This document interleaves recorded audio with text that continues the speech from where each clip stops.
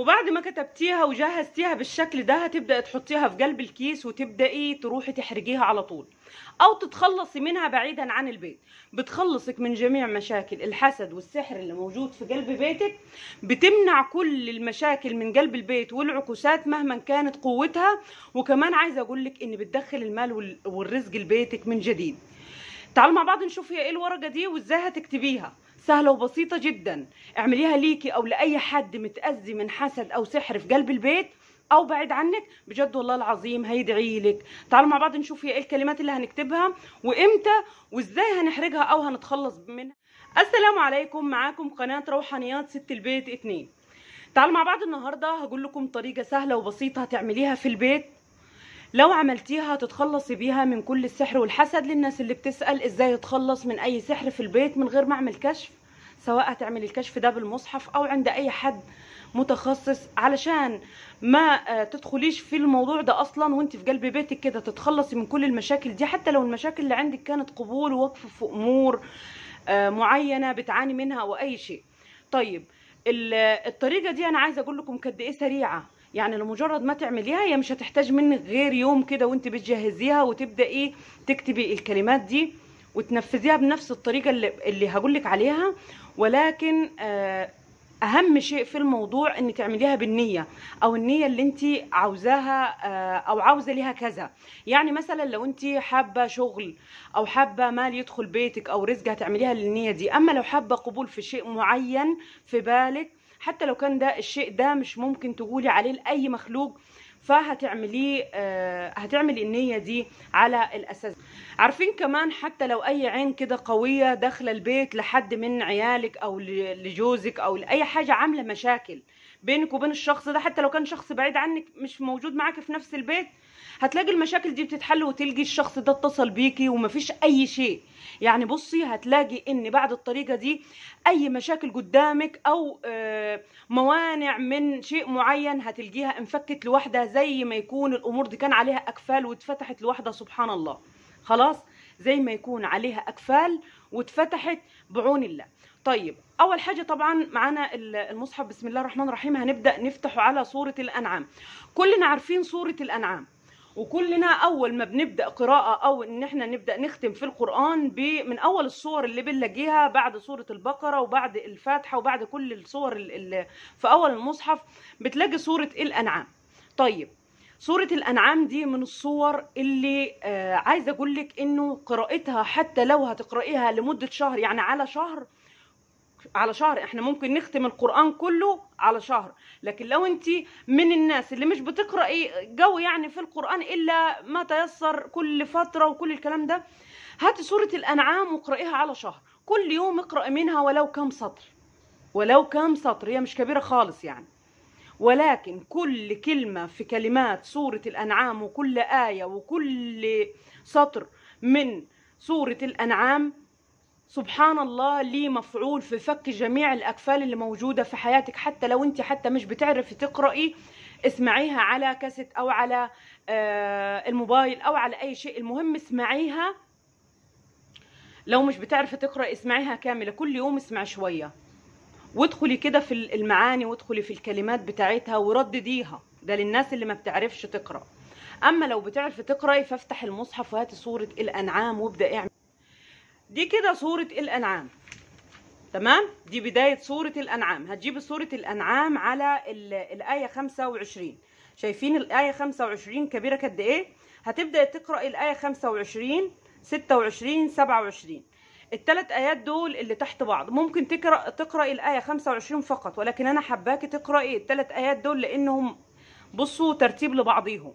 خلاص؟ فهتبدأ تقرأي الآية 25 26 27 وبعديها على طول بعد ما قرأتيها.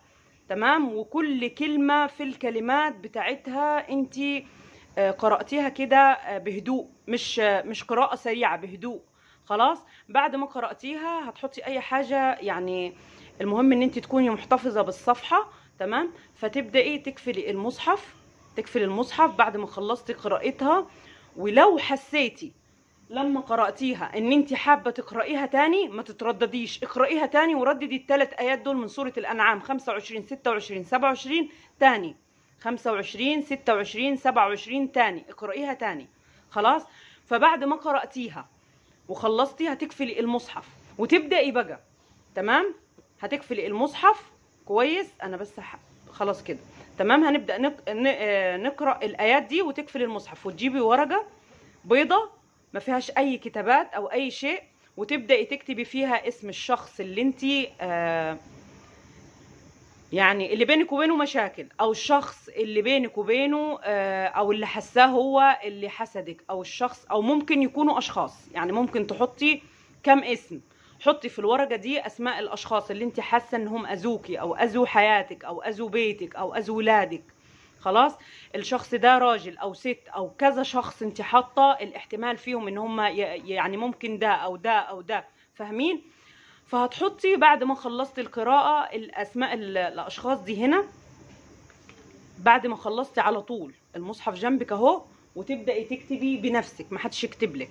طيب خلصت كده هتشيلي الورقة على جنب وتبدأي تفتحي المصحف تاني على صورة الأنعام.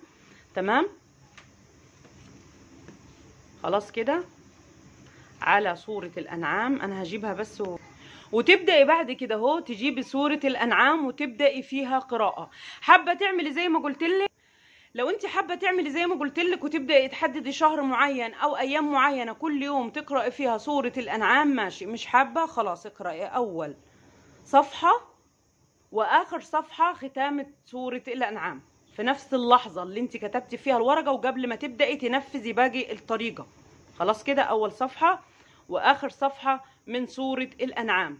اقرأيها. الصفحة دي مثلا لحد الآية 8 وآخر صفحة من سورة الأنعام هتقرأيها من أولها لحد آخرها. الصفحتين. من غير تكرار. خلاص؟ طيب وبعد كده هتجيبي ال- الورقة اللي انت عينتي فيها الأسماء دي طيب لو اللي أنا هكتب اسمهم هنا هو مثلا زوجي عشان في مشاكل أو في انفصال أو في أمور بيني وبينه فأنا هكتبها تمام؟ عايزة أقول لك إنه كل المشاكل اللي بينك وبين الشخص اللي هتكتبيها هنا هتنحل تمام؟ حتى لو كان ظلم. يعني بصوا في ظلم واقع بينك وبين شخص يعني شخص ظلمك أو شخص أذاكي بطريقة معينة. مش لازم تكون عمل لك سحر أو حسد ممكن طريقة تانية. وأنت حابة تعمل الطريقة دي هتكتبي اسم الشخص أو الشخصين أو الثلاثه أو إن شاء الله عشر أشخاص. وبعد كده هتجيبي أي كيس بلاستيك نظيف وتبدأي تحطي في قلبه الورقة دي وتربطيه كويس. وتبدأي تعملي منه آه يعني تبخيرة بالملح تجيبي ملح وتحطيه على النار زي ما وريتكم قبل كده في الفيديوهات اللي فاتت. راجعوا الفيديوهات وشوفوا إحنا بنعمل إزاي تبخيرة الملح بدون بخور. وآخر ما تخلصي تبخيرة الملح احرجي الورقة دي. طيب مش حابة تحرجيها؟ مش عاوزة تحرجيها؟ خدي الورقة دي لأي مكان بعيد من بيتك بس تأكدي إنه ما حدش هيفتحها. وعشان كده قلت لك احرجيها في قلب البيت. وعلشان كده قلت لك احرجي الورقة دي في قلب البيت علشان تتأكدي إنها اتحرجت ما حدش هيفتحها تاني أو ما حدش هيفتح المشاكل دي تاني. بمعنى أصح الكيس اللي إحنا هنحطه فيها والورقة دي لما نحرجها كده إحنا هنمنع خالص الموضوع ده وهنفكه بطريقة سهلة وبسيطة بإيدينا.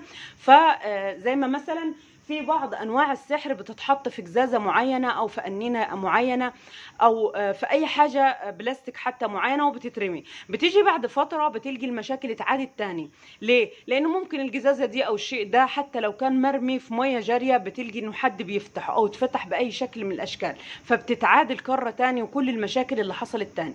فأنت بتحمي نفسك بالطريقة دي من كل ده فتتخلصي من الورقة دي إن أنت تحرجيها على تبخيرة ملح لحد ما تتأكدي إن كل الورقة وكل الأسماء اللي فيها اختفت وكل الورقة اتحرجت من أولها لآخرها.